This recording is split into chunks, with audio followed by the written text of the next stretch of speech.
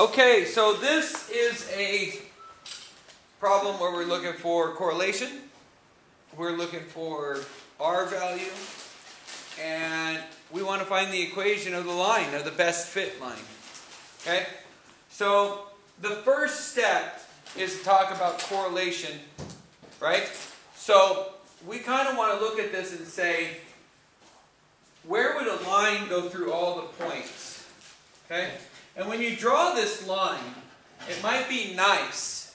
It might be nice if you could make sure that it goes through a couple of specific points. But the key is just drawing the line in general. I don't know, man. I just Okay? a whole bunch of dots. So you're going to cut the dots in half. Half the dots on top, half the dots on bottom. Okay? So let's do that first. So let's just go. Okay. There we go. Good line. Okay, half the dots on bottom, half the dots on top. We're good. Okay? Next. How close are these dots to the line? Do they create a line? No. They're a little bit off the line, right?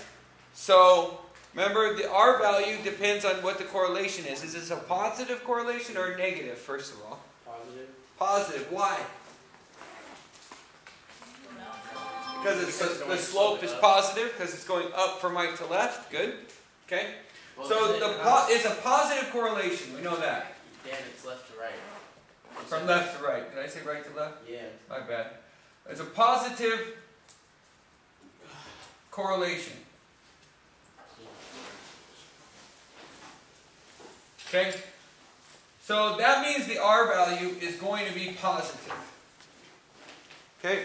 The other thing is, remember the R value for something like this, very close to a line, is going to be about 0.9.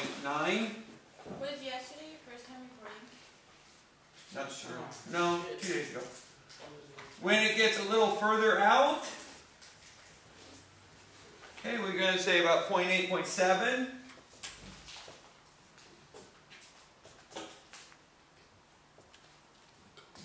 Right? Further out,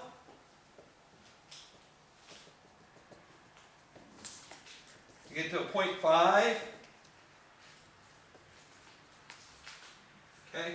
And then when it gets, you know, pretty close to just random, with a little bit of positive correlation, we're going to say that that's close to 0.2. Okay? We're never, ever, ever going to get down to zero. We're never really going to get to one.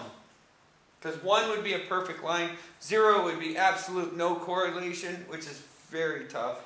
Okay, and this is data collecting. So in real life, it just doesn't happen often, or very, very, very rare. Okay, so there's that.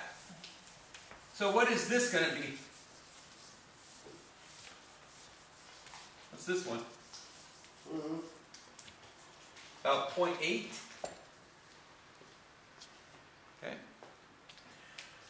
So that's the easy part. Correlation, positive, negative, right?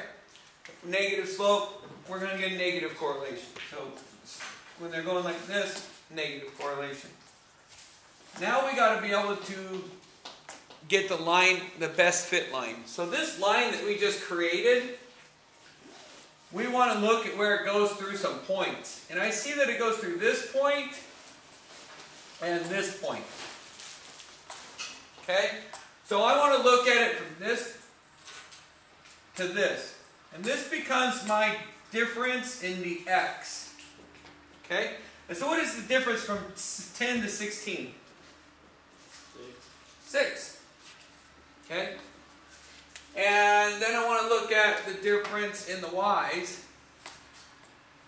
So what is the difference between 90 and 110? Oh, uh, What's the difference in y? 90 and 110. Uh-huh. 20. Good. Okay? So with that, we can come up with our slope. Slope is equal to the difference in the y over the difference in the x. Pay attention.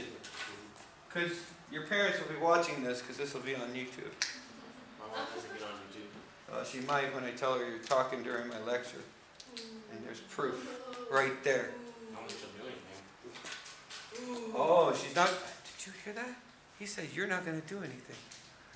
You might want to check that before I'm you. gonna watch this on YouTube. Okay, so I know all these parents are gonna be like, really? so here's here's the thing. This is the slope. The difference in y over the difference in x. Okay? So we have a slope and we know that it's what? 20 over 6? What's our favorite equation? Or my favorite equation? Anyone? Gonna- That's right, y equals mx plus b. This equation will get us everywhere with linear, okay? So we need to reincorporate this. We have some points here. We have the slope.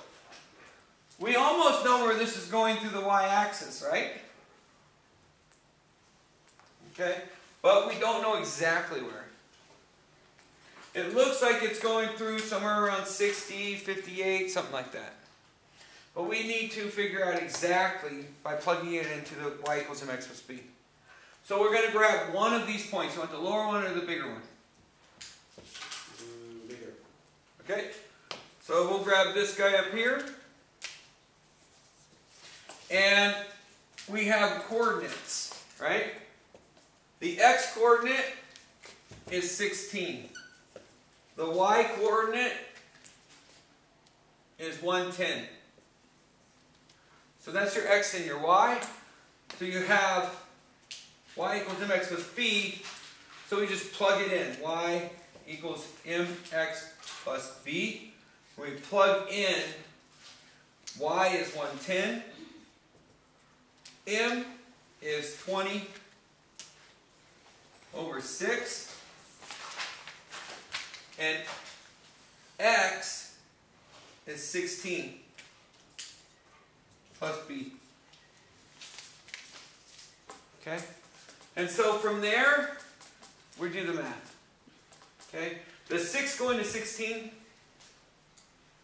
No, but can we reduce it?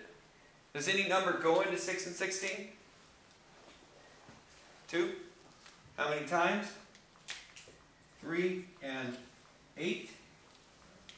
And so now we've got 8 times 20, which is 160 over 3 plus b equals 110. Okay?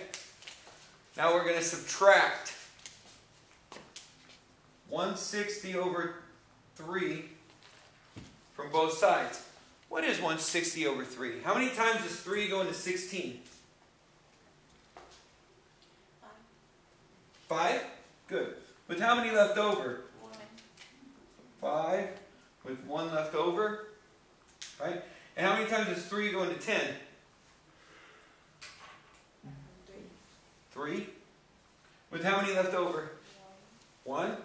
So every single time it's just going to be 1 left over, right? So that would be 1 left over the 3. So 53 and a third. If I take that away from 110, right? If I take 53 away from 110, what do I get? 53 from 110. So 3 or 50 from 110. Sixty. Yeah. So 110 minus 50 is going to give me 60. 3 from 60, 57. I'll take it. And a third from 57.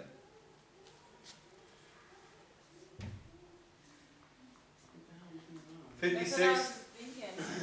56 and two thirds, right?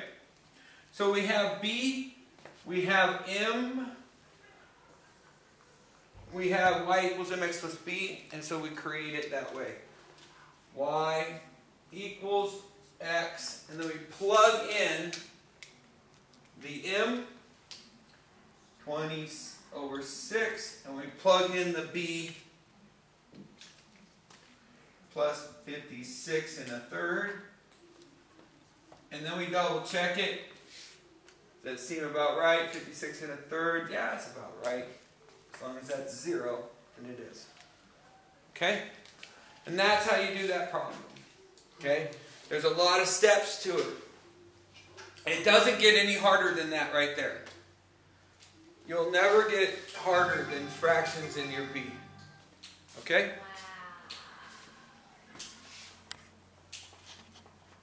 That's okay. I'll